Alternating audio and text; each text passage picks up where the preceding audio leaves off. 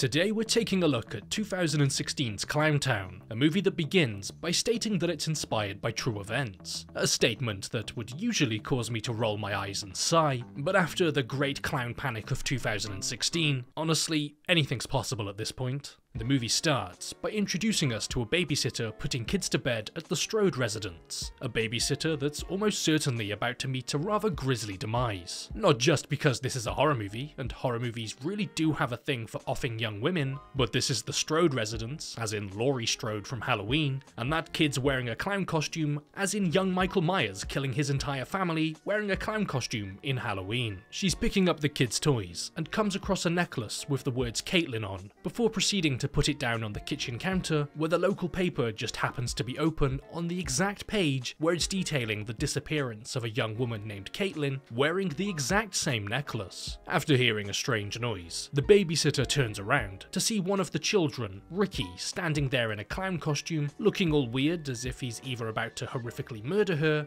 or tell her that he's wet the bed. Well, neither, as he runs straight past her and up the stairs, causing her to follow to be inevitably turned into Caitlin 2.0. And that's exactly what happens after opening one of the bedroom doors, because suddenly she's attacked by a cleaver in a suspiciously low down position, meaning there's a psycho clown kid in the house, or a little person who really doesn't like babysitters. It then skips ahead 15 years, because it's really gotta milk those Halloween references, and we see a group of friends enter a diner as they're passing through the area on a way to a concert. Brad Sarah, Mike, and Jill. But before that, we've got to skip ahead to the sponsor of today's video because I've really got to milk these ad opportunities. This video is sponsored by State of Survival, a zombie themed survival strategy mobile game that is free to play and available on iOS, Android, and Windows. Starting from now until September, State of Survival is teaming up with the UFC to bring the most exciting in game activities to all UFC fans and State of Survival players. Download State of Survival now, and you'll be able to receive 400 UFC free crates to help you level up more easily than ever. In State of Survival, each hero has his own background story and unique skills. Use exclusive MMA hero Magnus to defeat zombies and enemies more easily than ever. State of Survival has an immersive and authentic post-apocalyptic worldview and a game story which is full of twists and turns. If you love authentic post-apocalyptic experiences, you should check out State of Survival. So click the link in the top of the description or scan the QR code that's on screen right now to enter the event page. Download State of Survival now to join the Battle Power leaderboard. You'll have a chance to win a 2021 Apple MacBook Pro and other prizes. And don't forget to use the 400 UFC free crate to help you upgrade your basement and level you up faster than ever. Brad and Mike head off to the restroom to compare sizes, where we see that Brad is planning on proposing to his girlfriend Sarah. A plot point that I'm absolutely certain will definitely play a role in this story somehow. A local overhears them talking about trying to get to Columbus and gives them directions, all while staring directly into the chest of Sarah as her boyfriend stands right there. Brad's not too keen on this guy's oogling eye condition known as I can't stop looking at your girlfriend's breasts, and decides to stand between the pair right before the sheriff intervenes before anything can happen between them. The sheriff apologises about the locals and decides to give the group a better route due to there being construction being done along the other one, but he does warn the friends that it's incredibly easy to get lost heading that way. We then see the breast-staring man walking directly down a railway track because I guess the thought of boobs just overrides his ability to be health and safety conscious, when all of a sudden he's attacked and has a crowbar thrust into his neck. Damn boobies causing him to be distracted. After driving for a while, the group of friends pull over after realizing that Jill doesn't have her phone anymore, and the last place that she saw it was back in the diner before creepy boob man approached them. And after Sarah rings it, someone answers and they're given directions and told to meet at a nearby town. But once they get to said town, they realize that there's not a single soul to be seen, as well as not a single bar of cell reception to be seen either. We then see two guys driving stoned and drunk before pulling over for one of them to relieve himself, but we suddenly see the man wielding the crowbar standing directly behind the car, looking to kill some more booby daydreamers before seemingly disappearing as the vehicle drives away. At this point, the group of friends have been waiting around in this empty town all day, waiting for this guy to show up. And without seeing a single soul since they arrived, decide that it's best if they just leave and try and get to the concert. But once they do get into their car, they realise that it won't start, as we see a shadowy figure quickly walk by the window. They pop the hood and notice a large chunk of wires have been cut, and I'm no mechanic, but I don't think cut wires equals brum brum. They suddenly spot the man who walked past their car, and after trying to approach, he rather rudely ignores them and walks off into the darkness. They decide to head off on foot, and after walking for a while, Jill spots a large man wearing clown face paint while wielding a machete, aka a really bad time. Suddenly, a car veers off the road after almost driving into Jill. It's the drunk stone dudes, too drunk and too stoned to notice the woman standing in the middle of the road. And after they jump out of the car, the magically disappearing crowbar guy magically appears out of the back of the truck and beats one of the men over the head, as everyone watches on in sheer confusion at the sight of some crazy dude hiding in trucks and disregarding health and safety measures while swinging tools around the place. When suddenly, another terrifying man in clown makeup appears, wielding a flaming baseball bat, because sure, if you're gonna hit someone with a bat, why not make it burn too? He walks over to the beaten man, stamps on his head, douses him in gasoline, and drops a lit rag, because screw this guy in particular. Along with their new friend, they're forced into a scrapyard after the large clown appears again, and they're all forced to hide in an abandoned school bus. And as they're hiding in it, one of the clowns comes directly up to the window because apparently he's got a thing for creepily staring into children's school buses, and leaves with somehow not noticing the group of five people directly below him in an otherwise empty school bus. As they move on, Jill is grabbed from behind without the rest realizing, and when they do realize and try to go back, they see that they're being watched by one of the clowns. So in response, decide to all hide inside of a small cramped RV, because sure, why not make the clowns' jobs easier for them? It's not like we've seen they enjoy setting things on fire or anything, but hey, who am I to judge? I've never been stalked by killer clowns, I just talk about people who have. Unsurprisingly, the clowns begin breaking into the RV, when all of a sudden, this random old dude appears and begins helping them. Cheers, random old dude. And after the clowns find themselves bamboozled by some random pensioner who can materialize out of thin air, he takes them to a warehouse where he's living.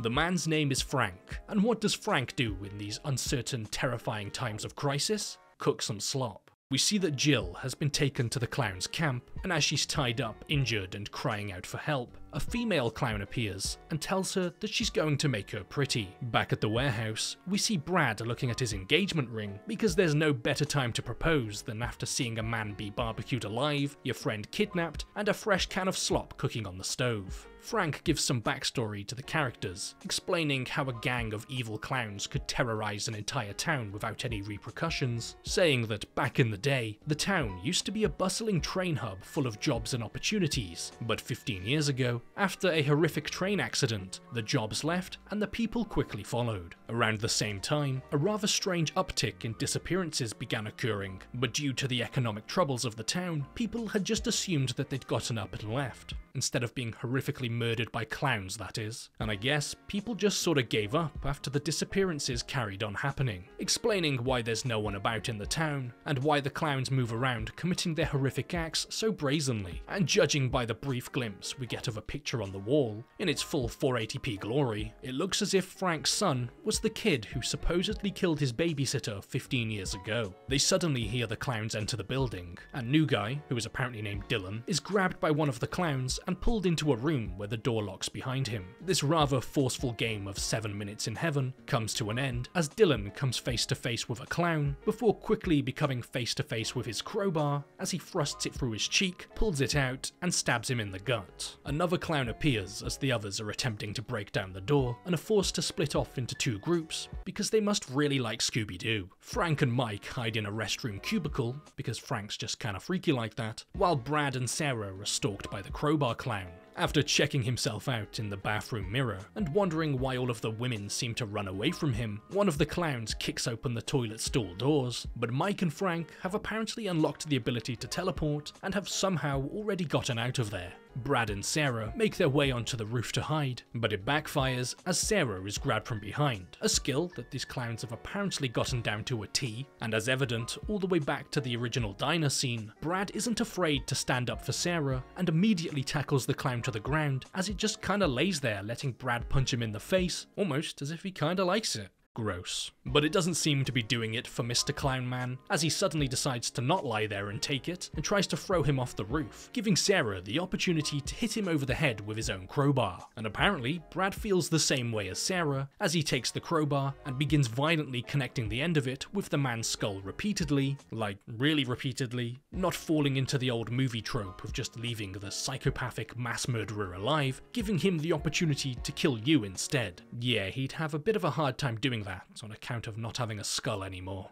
They reunite with Frank and Mike on the roof and discover Jill's phone in the pocket of the clown who went and lost his head, coming to the realization that this clown was the busboy back in the diner and they've been targets ever since visiting it. With directions from Frank, Brad, Sarah and Mike take Dylan's car and head off looking for Jill, but on the way they spot Frank, somehow now ahead of them and in the middle of the road despite being left back on foot in town, sporting his teleportation ability that he learned back in the toilet cubicle. After getting out of the car, car, Brad realizes that Frank's been beaten and stabbed, and as he falls to his knees, another clown appears and begins trying to get Sarah in the car. Now I was almost certain that Frank was going to have something to do with these clowns, with him being the father of the creepy clown Michael Myers kid back in the beginning of the movie. Like maybe they would all be his sons and he would end up leading the group directly towards them, but no, he did. Sarah and Mike are forced to split up from Brad as the clown chases Brad into the woods. He makes it to the Strode residence, the same house from the beginning of the movie, and begins knocking on the front door. He's let into the house by a weird old woman who also seems to have the power of teleportation because now she's sitting in a rocking chair facing away from Brad.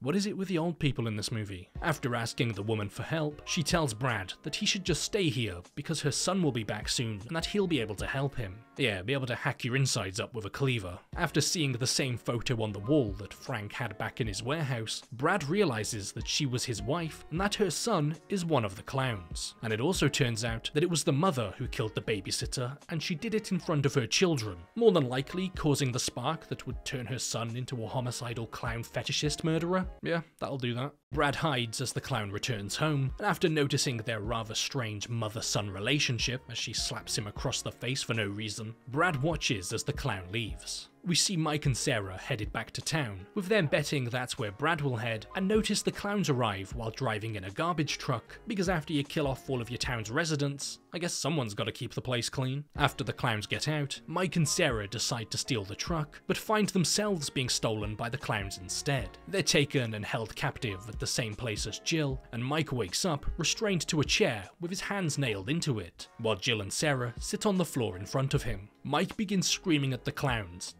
to be set free, when suddenly the sheriff appears and knocks him to the ground. The same sheriff from the diner where the friends saw the busboy. I guess they handle all of the jobs around here, garbage men, busboys and cops. Well, I guess it comes in handy to be able to cover up and clean up the mess you left behind after you horrifically murder a bunch of people while cosplaying as Bozo the Clown. Jill begins screaming as well, and after being told to shut her up by the sheriff, one of the clown walks over to her and hits her across the face with a baseball bat, cracking her head open in the process, which in turn causes the sheriff to begin screaming, because I guess everybody's just screaming now, with him saying that he's done covering up their messes and that he's done looking out for them. So in response, the clown casually stabs him in the gut with a large sadistic smile displayed across his face. Brad suddenly appears, after either figuring out Frank's secret teleportation powers or following the garbage truck back from town, and begins to free Sarah and Mike. And as he's attempting to get Mike free, but struggling on account of his hands being literally nailed into the chair, the female clown appears. But Sarah knocks her unconscious before she even has a chance to do anything. The clown begins walking towards them as they're trying to free Mike, but the police officer, somehow still alive, shoots the clown twice, which of course does absolutely nothing but anger him, causing him to finish him off with a baseball bat. Because this clown is simply too evil to die. Two other clowns begin to approach, so Mike forces his hands free with the nails still in them and thrusts them into the neck of a clown, killing him, but ends up taking an axe to the back by another. Brad and Sarah find the garbage truck, but the clowns grab onto them before they can leave.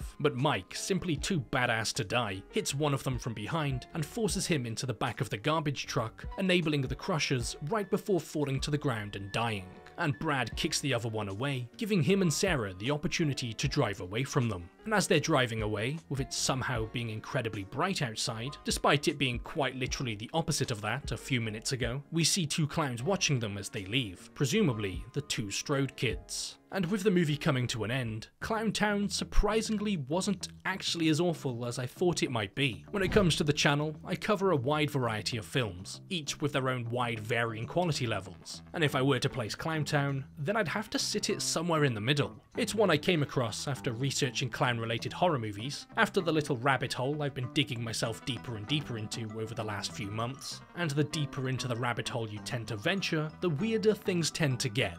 And remember, weird doesn't always mean good.